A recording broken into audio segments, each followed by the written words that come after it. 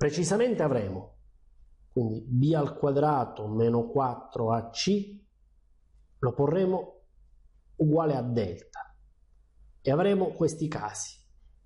Se delta maggiore di 0 l'equazione avrà due radici o soluzioni reali e distinte.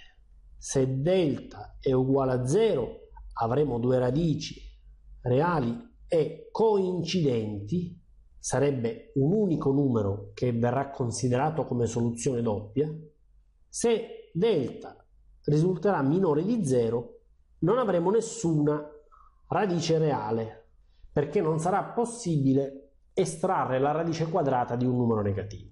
Ora faremo un esempio per ciascuno dei casi.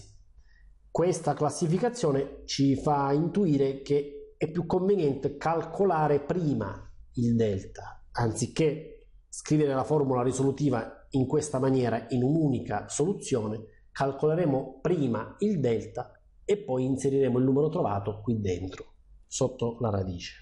Facciamo un esempio di equazione completa, 2x al quadrato più 3x meno 20 uguale 0.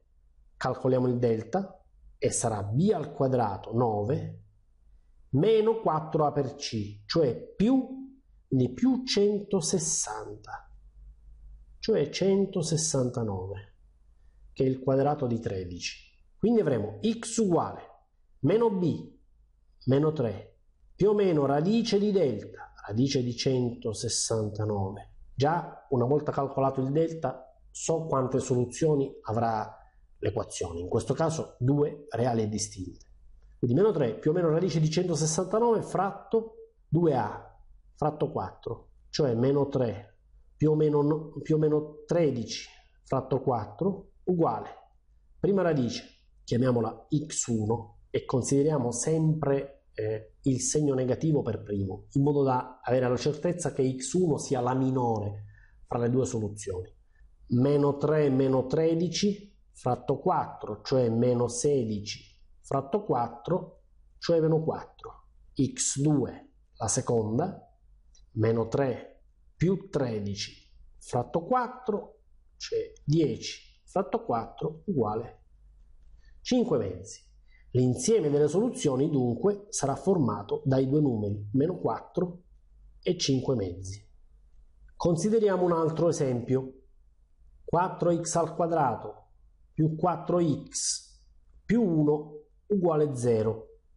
Calcoliamo il delta, il discriminante, ottenendo b al quadrato 16 meno 4a per c, meno 16, uguale 0. Posso già concludere che questa equazione avrà come soluzioni due radici reali e, coincidenti, cioè un unico numero che verrà considerato come soluzione doppia. Applichiamo la formula risolutiva ottenendo x uguale meno b meno 4 più o meno radice di 0 non la scriviamo, non lo scriviamo, fratto 2a fratto 8 uguale meno un mezzo. Insieme delle soluzioni S è formato dal solo numero meno un mezzo. Terzo e ultimo caso, l'equazione impossibile, 5x quadro meno x più 3 uguale 0. Delta uguale b al quadrato 1 meno 4a per c, cioè meno 4 per 15, quindi meno 60, uguale meno 59 minore di 0, equazione impossibile. Possiamo subito concludere che l'insieme delle soluzioni è vuoto, cioè non ci sono soluzioni.